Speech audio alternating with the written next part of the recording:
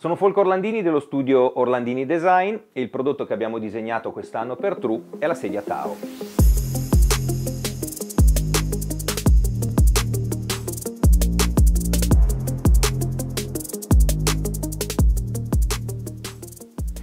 Quello che ho sempre sentito dire dei designer, quelli bravi a disegnare le sedie, è che una sedia deve essere bella vista da dietro.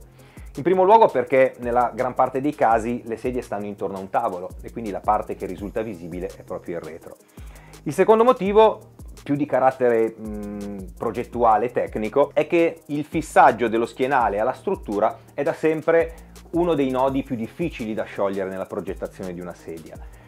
Perché? Perché la soluzione più immediata è quella di avere delle viti in vista, dei rivetti in vista.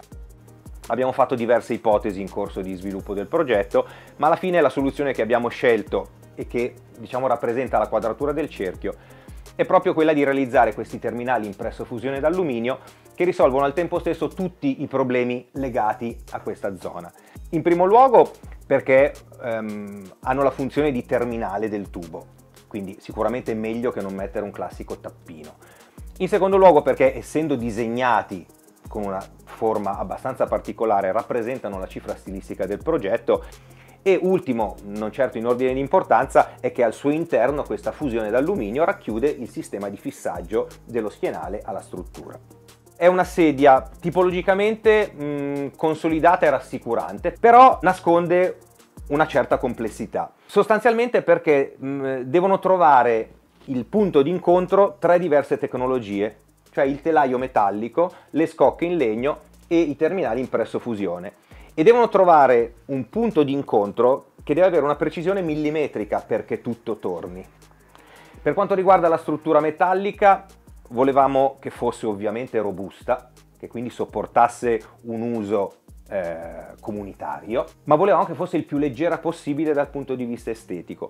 Ecco perché abbiamo optato per un solo montante verticale al posto dei classici due, con poi un traverso orizzontale che va a formare questa forma T da cui deriva il nome della sedia stessa.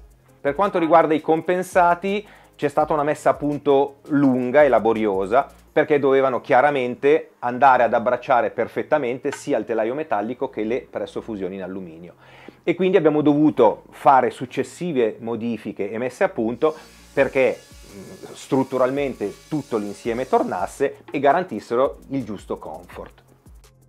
Tao si distingue nettamente da altre sedie di questo tipo proprio perché riesce a celare dietro un aspetto amichevole e rassicurante ehm, un'innovazione tecnologica frutto di una lunga, lunghissima fase di sviluppo e messa a punto.